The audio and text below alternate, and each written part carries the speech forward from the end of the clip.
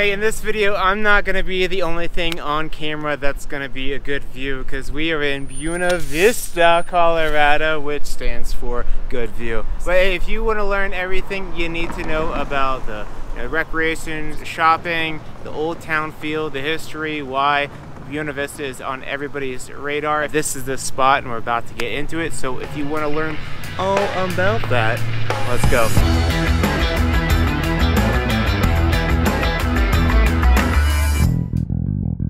Hi guys, welcome back to the channel. I am Sean Murphy and on this channel we make videos about what it's like to live in Colorado. It's simple as that. That's what we do.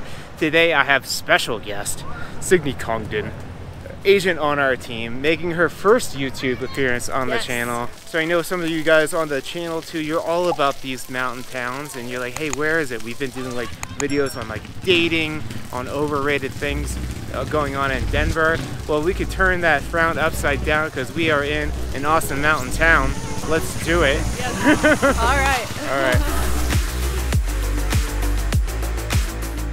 All right, we are in the downtown area. And if you look beyond us, you're gonna just see all kinds of things going on, outdoor activities. You're gonna see like dirt bikes, you're gonna see rafts, you see kayaks. So it is located in Chaffee County in this big old valley surrounded by these beautiful peaks but the downtown area was established in the 1800s mainly for like agriculture because they had a bunch of water. Are you learning anything? You already know yeah. all this. But a bunch of water up here a lot of flat usable land and tons and tons of sunshine so it was a, an agricultural area and then they brought the railroad coming through it in like late 1800s they started getting all the electricity all the lights all the telephones all the things necessary to make an awesome mountain town. Mm -hmm. and you are kind of out here by yourself in the middle of this valley. Your next town is another mountain town that's going to be actually smaller than this area but if you go north, you have Aspen, northwest, you go northeast, you got Breckenridge. So this is the town map, and you don't see a lot of these in-town maps that also have all the hiking trails and biking trails on the map as well, but that's what it's about. This is the Arkansas River where they'll have all the, the rafting. A lot of them will, will set off from here. What happened?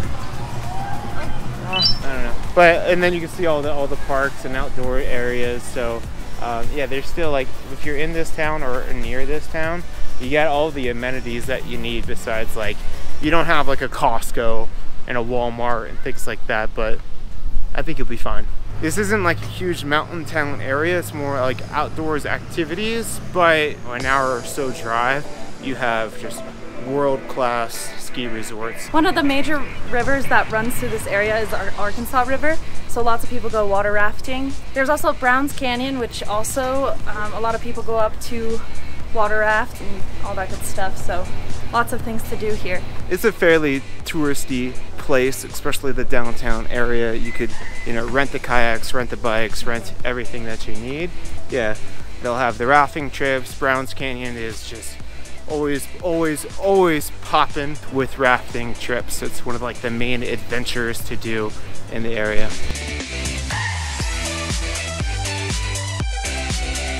So I'm with B at Wilderness Aware Rafting. It's a really fun operation. We've got a lot of options here locally on the Arkansas River. What's great is that we have a couple options for like a family float trip. We've got our most popular Browns Canyon, which is a national monument, moderate whitewater. And then we even have two different high class sections that we can raft on. And we even do multi-days, two to five day trips. We also operate on multiple rivers throughout the state and even in other states. But here in Buena Vista, it's one of the most popular places to come and raft because there's so so many options. And we, of course, operate from May all the way until the first week of September. And here we are just closing down from our trips for the day. So when we're booking the trip and getting everybody checked in, our office staff will give them a brief orientation of how to get prepared and what to expect from the day. Even before you get out on the water, you've got a lot of great info about how to stay safe out there. And the guides are out there prepping you with a nice paddle talk before you get on the water. So whether you've had experience or not, there's a lot of great options here. And even if it's like a small group, like you just team peep match people up with a large group fill the raft type thing. That's right. So, so, we, yeah, we're running either 13 or 14 foot rafts and typically seven people max. And sometimes you'll get joined up with other groups. You know, we'll even run trips and there's half day trips, full day trips, um, depending on the section. What's like the, the price range on these things? So price range for a half day, you know, around 100 for most of the trips, and then for a full day about 150. And if it's a higher class section, it'll be a little bit higher, around like 160, 170. Anything else do you think that people should know? No, we just hope that you come on out and you know there's a lot of different sections. So if you start, let's say with a float trip, you should definitely come back and try all the sections. There you go. That's what's up. All right. Thank you so much. Thank you. Food is great. Just looking up places to eat, you're gonna get something super local, good beers, good Colorado beers, good patios, and good people. I said because like like cool Super mountain friendly, people, yeah. super friendly. Yeah, and they're they're used to dealing with like idiot tourists like us. So, but the vibe is mo- mostly like yeah, like this place is sweet. Come hang out, have a good time, get after it, have a beer. One of the main attractions here is the DeerHammer Distilling Company. They brew wine, so you can go and taste their wine that's brewed here locally. And it's a small town too, so what is about 3,000 people we said that live here? Just Under about 3,000. that just seems like so small. But like the, the vibe is it's not big. About 25% of the households do have children under the age of 18. They usually have like a more novice level experience for the kids, and so it's definitely a family friendly environment. So if you are raising children here, they are going to Buena Uh, Vista Buena High School. Vista High School. It's got about 250 students currently, and so it's really small, but the ratio between teachers and students is 12 to 1. So you'll definitely get that kind of culture of a smaller feel and smaller town, smaller schooling system. I see your kids are gonna be like rad, and I'm I'm a city boy, Youngstown, Ohio. My clients that have kids and they're mountain kids, they just keep seem a little bit cooler, a little bit more edgier, outdoorsy, fun, rad. So uh, if you want to like insert your kids, if you're like I need to get away from the the woke culture or the congestion of the city living, and I want to raise my kids in a different environment, like towns like this, thumbs up to it. The community shows up to the games and hosts fundraisers in order to get those kids being able to travel for sports as well. So it's a tight community, and everyone seems like you know they're all fending for each other. So Yeah, yeah, a lot of a lot of town pride. You could just feel it exuding from the people that live here. And they also they hate when I come into town and make videos like this about their town because they're like, "Hey, man, why don't you just shut up and keep that under wraps?" But I won't because you guys, because I'm here for you. Oh, I. Did you go to school here? I, I went to Buena Vista High School. You know, it's funny because it's such a small school. Uh -huh. When I Uh-huh. was there, there was about 300 kids in the high school, and then Okay. I went to college, and my friends were like, "Oh, there was like 2,000 kids in my Yeah. high school," and I'm like, "Okay, Okay, that's we're my not, town." We're different. Oh. Yeah. Sports have always been kind of a big thing here. We have photos of like basketball teams back in like the 20s and 30s. How fun. When this was the school. And Okay. They had all 12 grades in this building. First through eighth would have been down here with two grades per classroom. So this would have uh-huh. been like third and fourth grade in here. Then all the high schoolers were upstairs. I don't know, we have so many weird little stories like how we stole the courthouse from Granite. In 1879, when Buena Vista was formed, we split, formed Chaffee County. Granite was the county seat at that point. BV became bigger, so in 79, we had a vote for where the county seat should be. BV, more people, we won. Right. Granite felt that the election had been rigged and so refused to give it up. We went and in the middle of the night, some guys on like a hand crank train car went up there in the middle of the night and stole all the files, brought them back down here. That was in 79. Building was finished in 82. So for three years, they hid all the like county records in like local safes and Oh, like really? businesses and stuff so that Granite couldn't steal them back. Gangster shit right there. That's part of the reason why like we have 16 inch thick walls on this building.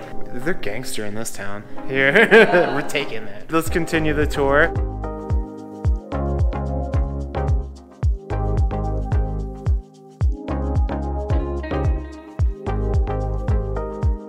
Hold on, real quick. I know what these are. Uh, they go. They used to go on top of telephone poles, right? The the the metal part was underneath of those, right? Like the conductor part. So it wouldn't get. Yes, that's Yeah. the insulator. Insulator. The more you know. All right, so like we said, tons of good, rich history and good stories up in Buena Vista. Buena Vista. I'm always I'm gonna say it wrong. I'm just used to Buena. Buena, Buena, there we go. Let's talk a little bit about housing. If you're going to live up here, like we said, there's not a ton of uh, housing up here, but most of it is going to be like single family detached homes. There are some condos out there. Uh, most of them are going to be between like 900 to 1200 square feet, and you're looking like between 350 to 450,000. But like I said, most of it is going to be single family detached homes and then you just get into are you like down by the town area? Are you up in the hills a little bit where it feels a little bit more mountainy?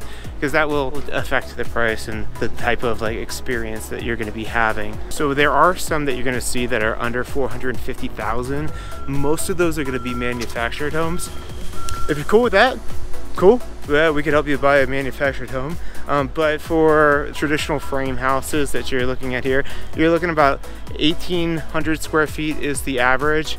And then pricing from like 450 plus the, the median price is right at 700,000 and I mean they go all the way up to you know four million dollars if you want like 6,000 square feet and 480 acres and by the way, that's what we, if you haven't picked up on it, we are a real estate team. And if you're looking to find the perfect neighborhood, perfect town, the perfect house for your situation, looking to make a in-state or cross-country move, we got your back. We love helping you out. That's why we do the channel, because we love you know, ex- explaining what we know and why we love Colorado. So if you're looking for that guide, you gotta call us. You gotta send us an email, give us a call, text, squirrel by fence, golden eagle, ram, uh, like ev- owl, whatever, like whatever, however works best for you. We're happy to help. Everybody loves us here.